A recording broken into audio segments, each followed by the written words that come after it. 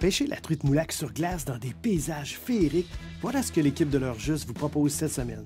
Soyez des nôtres pour la première mercredi le 18 janvier 20h30 à Télémag.